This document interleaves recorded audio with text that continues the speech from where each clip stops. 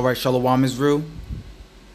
I want to give all praises, honor, and glory to Yahweh, by Hashem Yahweh Shai. Yahweh is who the world ignorantly calls God. Yahweh Shai is his son, who the world ignorantly calls Jesus Christ. And there's no God beside them. Double honors to the elder apostles and the elder bishops of Great Millstone.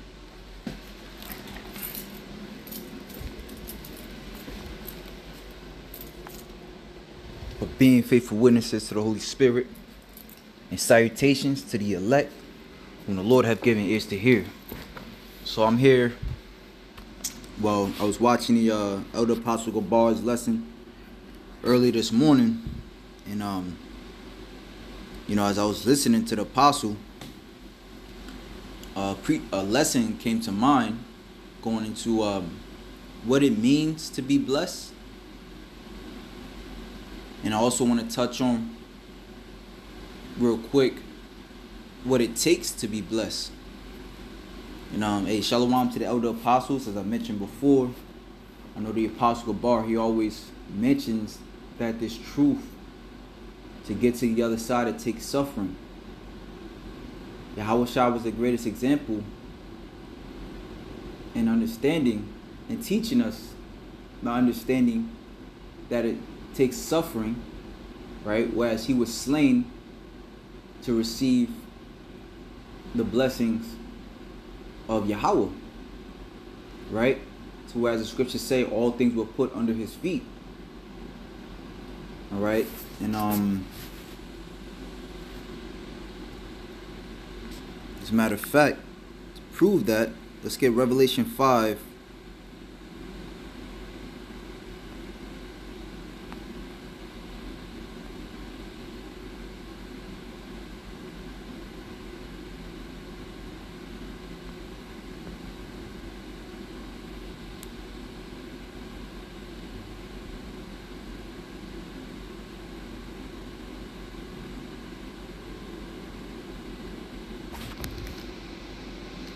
Verse 6 I, and i beheld and lo in the midst of the throne and of the four beasts and in the midst of the elders stood a lamb as it had been slain. And even the apostle john when he seen Yahushua, he said behold the lamb of god. So this is speaking on Yahushua, having seven horns and seven eyes which are the seven spirits of god sent forth into all the earth. And he came and took the book out of the right hand of him that sat on the throne. And when he had taken the book, and this proves also that Yahweh and Yahweh are two separate people. Of one spirit, yes, but of two people. And when he had taken the book, the four beasts and four and twenty elders fell down before the Lamb, having every one of them harps and golden vials of odors, which are the prayers of the saints. And they sung a new song, saying, Thou art worthy to take the book and to open the seals thereof, for thou wast slain, and hast redeemed us to God by the blood, by thy blood, out of every kindred, tongue, people, and nation. Alright? And um hey, through Yahweh the seed of Abraham will be blessed. Ultimately right? Through Yahweh as it is written, or as it is written, that Israel at the end of the day will be redeemed from all the nations where they were scattered. Right? And um let me just keep reading. And has made us unto our gods and kings, uh, and has made us unto our God kings and priests, and we shall reign in the earth. And I beheld, and I heard the voice of many angels round about the throne and the beast and the elders, and the number of them was 10,000 times 10,000 and thousands of thousands. Right? So this is the angels pretty much praising Yahweh for his works on the earth. Saying with a loud voice, Worthy is the Lamb that was slain to receive power and riches and wisdom, strength and honor and glory and blessings. And amongst this, he also receive well he will also he will also receive all right um these other nations being under his feet. Psalms chapter 2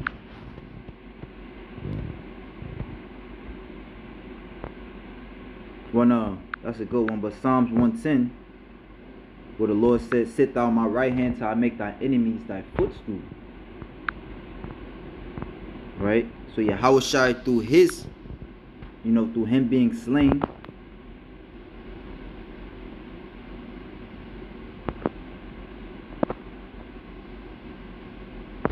Salakia. Yes.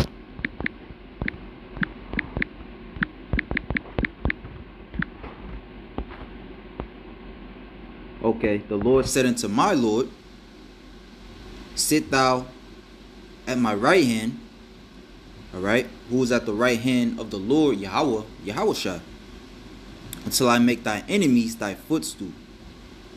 Right? So that's the uh, succession of things. Yahweh had to come, you know, be slain, and now he's blessed. And so are we in like manner as we follow Yahweh As a matter of fact, when you go into the book of Romans, chapter 8, verse 28.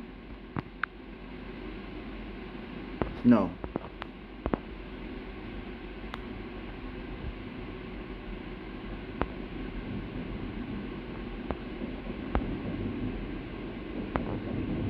It's around 16.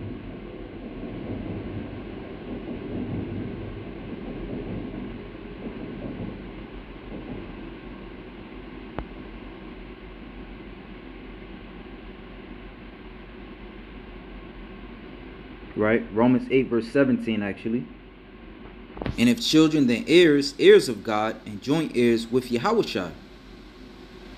If so be that we suffer with him. So we are joint heirs with Yahushua if we suffer with him. The way, that way, that we may be also glorified together. And at the appearing of Yahushua, that's our glory as well. This is um 1 Corinthians 15 verse 23. Start at 22. For as in Adam all die, so in Yahushua shall all be made alive. But every man in his own order, Yahushua the first fruits, afterwards they that are Yahushua at his coming.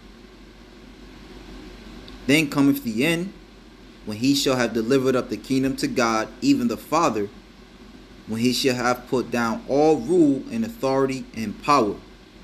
For he must reign till he have put all enemies under his feet. So again, this is the succession of things to where Yahweh Shai was um recognized in the heavens. Now it's just about him coming down on the earth and being recognized. All right, and therefore essentially being blessed. All right, what's that word blessed?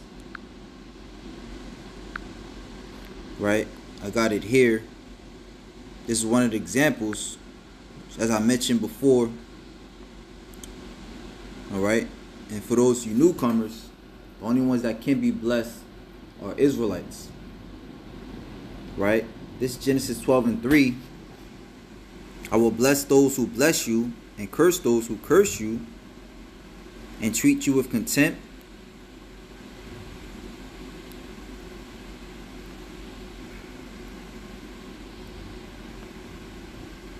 But you know what? Let me just go straight to the word bless. Right? Now, many times in the scriptures, the word bless goes into the Hebrew word barak, which is H 1288, meaning to bless or kneel right? So to be blessed is to, to, to kneel. And um, you know, I also wanted to bring out this point with Salakia. You know, this is gonna be a quick lesson because I'm on a, I'm on a gig. I gotta go real soon. But I wanted to bring this precept out, you know, because a lot of people may use this as far as all nations being saved. all nations being blessed through Abraham. Right? But when you go, so we went into the word bless, right? I will bless those who bless you and curse those who treat you with contempt. All the families on earth will be blessed through you. Now, when you go into that word families,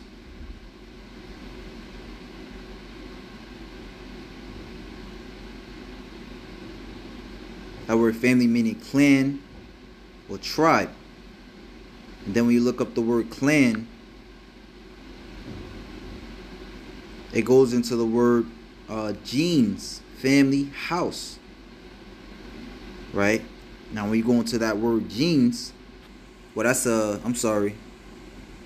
That word clan meaning a group of close-knit and interrelated families, especially associated with families in the Scottish Highlands, okay. A family especially a large one. Look at this one, a group of people with a strong common interest. All right? Also going into the word tribe, line, gene. A gene is a group of families in ancient Rome who shared a name, who shared a name and claimed a common origin. All right? And as it was mentioned, well, you know what? If you don't believe me based upon those um, definitions, we could always go to Isaiah 40, 41 and 8 to clarify things. Because you might say, well, Abraham had many seeds. All right. So which one of his uh, seeds will be blessed? Right? Isaiah 41 and 8. But as for you, Israel, my servant, Jacob, my chosen, uh, descended from Abraham, my friend. Right? So as it is written precept upon precept, which is how we ought to teach. But going back to the lesson at hand, all right, to be blessed, or what it means to be blessed, and what it takes to be blessed, which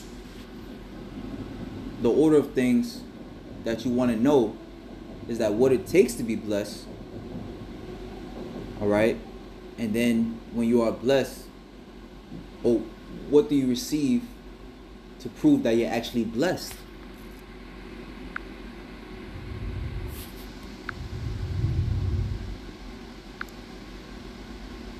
A place of sanctuary, right?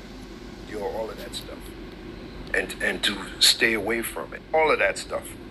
As we walk the path of truth, which we're going to find out how narrow that path is, we have to endure all of that stuff. And and to stay away from it It's kind of like dodging. It's kind of like you trying to get to a place of sanctuary, right? Where you know you're going to be protected. But before you get there to that place, you got to dodge all these landmines. Because if you step on one landmine, there you go, boom, you're out of there. So you got to dodge all these landmines to get to that place of sanctuary. That's how it is being in this knowledge, this truth. The landmines are the ignorance of the people, the stupidity of the masses, the false philosophies, the false pleasures of this world, the wickedness of this world, the demons that we got to encounter, the spirits we got to fight against, all of that. That's all these landmines that we got to we got to snake through to get to this place of sanctuary. Which so as you see, the Apostle Gabar is reading Second Ezra, the seventh chapter. It's a great chapter. Where he's going into, uh, as you see on the screen, the entrance thereof is narrow and set in a dangerous place to fall. Right? and the entrance thereof, like even Yahweh Shah said, they, they don't hate you, but they hate me. Because I testify that the works thereof are evil. Right? And we're following Yahweh Shai, the things that he dealt with, we're also going to deal with. Demons, all right? Uh, inwardly and outwardly, he's going to fuck with you constantly. The, the apostle also brought out in Sirach, the second chapter, when you come to serve the Lord, prepare thy soul for temptation and constantly endure. Right? Nevertheless, on the other side, as we see, it says the entrance thereof is narrow and is set in a dangerous place to fall. like as if there were a fire on the right hand and on the left a deep water. And the only path between them both, even between the fire and the water.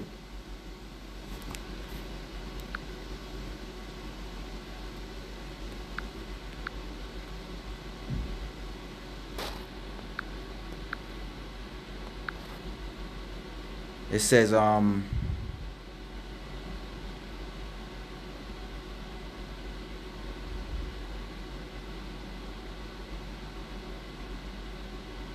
Damn, Shalaki. Okay, let's start at six. And again, I'm gonna just read through real fast. There's another thing: a city is builded and set upon a broad field, and is full of good things.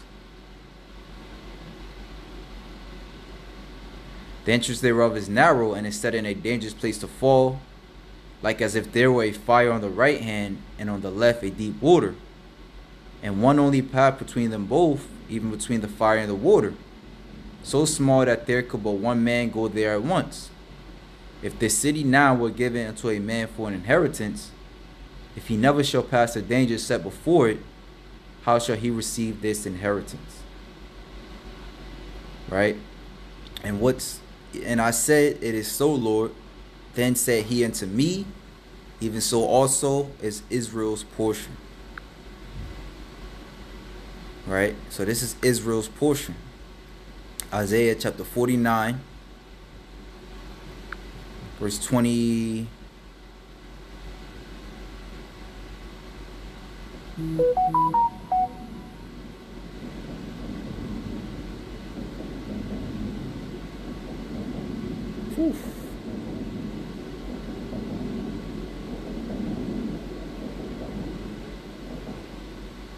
So this is going into the blessings, right? We're just jump, jump straight to the point. Thus saith the Lord, Behold, I will lift up my hand to the Gentiles, the other nations, and set up my standard to the people.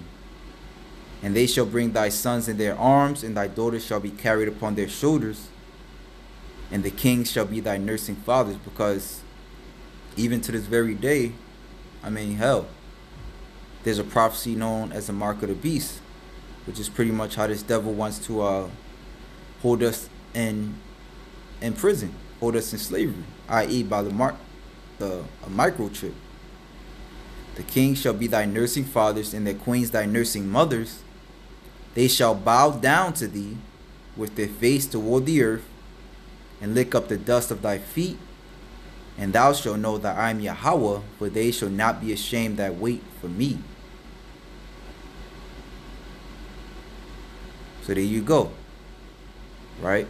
So Lord willing, you occupy edified. Again, just a quick review. We went over what it how what it takes to be blessed and what it means to be blessed. Right? And a lot of people have an issue with that, but they don't want to be blessed.